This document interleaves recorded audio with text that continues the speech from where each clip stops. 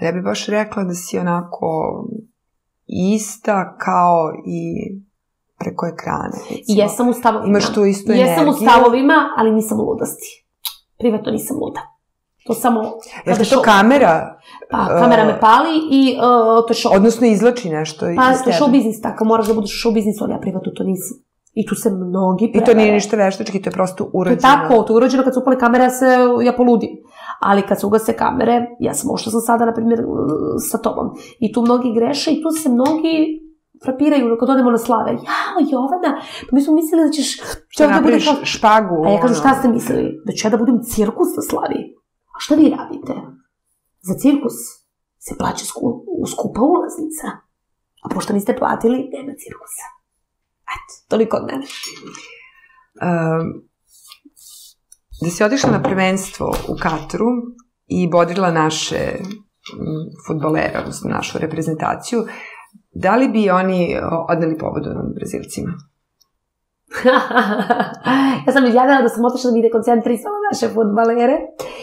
Uh, Ili bi zajedno sa ruskom ne, to je navijačima problem što su razvukla? Brazilci jači trenutno, što su naši Tadić i uh, Vlahović su bili povređeni. Um, Brazilci su jači i sa više srca su igrali tu utakmicu. Moram budemo realni, onaj gol uh, Brazilca je prelep bio iz vazduha. To je remek delo, umetničko delo.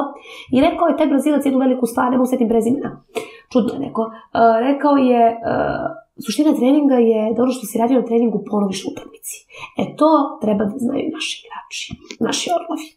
Da ono što se radi na treningu treba da se ponovi na utakmici i vidiš meni život nekako sad odveo u futbal, to je vrlo interesantno. Čujem sad neke razne priče da se sviđa nekim futbalerima.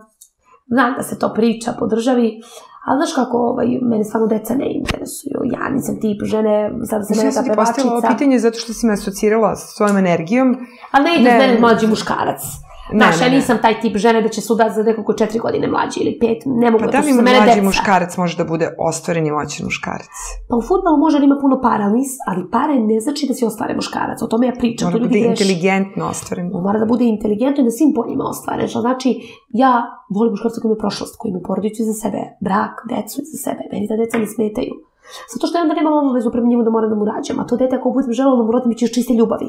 E, mora da bude naš uh, muškarac sa ovih podneblja ili Ne može da bude i neki Pa po tom proročanstvu će biti i svetski moćan muškarac, moj, moj drugi Sad mi je palo na pamet uh, da to nije možda Elon Musk.